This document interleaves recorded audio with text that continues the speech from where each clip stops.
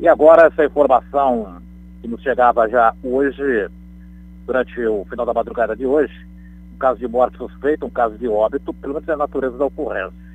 A informação vem da unidade médica da Avenida 29, da UPA, aqui na região do bairro do Estádio, unidade de pronto atendimento.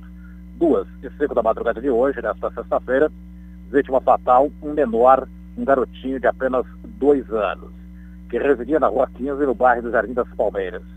A representante é sua mãe, de 28 anos, a Polícia Militar foi acionada, esteve na UPA da Avenida 29 e a informação já do óbito dessa criança. Eu tenho aqui informações em mãos do boletim de ocorrência e segundo o tio do garoto, informou a Polícia Militar que ouviu de sua irmã, a mãe do garoto, que ela havia dado leite ao filho e o colocado para dormir. E depois percebeu que a criança não respirava, tendo ela, mãe, feito massagem cardíaca, mas sem resultado positivo, dizendo ter saído leite pela boca do filho durante o procedimento, tendo de imediato levado para a UPA.